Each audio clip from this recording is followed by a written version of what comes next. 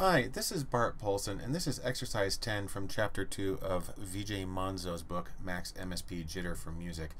And what we have here is what's called the rat patch for random atonal trash. And this part that's down here is pretty much the same of what we as what we've had before with one major exception, and that is we've changed it from a metronome to tempo.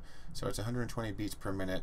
And this right here is the um, the beat division. And what we've set up is a whole bunch of message boxes right here that can change the beat division. It actually sends out these bangs here to replace the 8. But I can also click on these descriptive titles to make it a little easier. And then I've got some combinations here that change both the tempo and the beat division. And this is what it sounds like. So here's quarter notes. Here's 16th notes.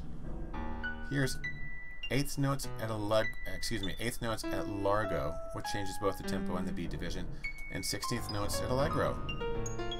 Anyhow, uh, a little more complicated, but uh, the terms are more descriptive and easier to use.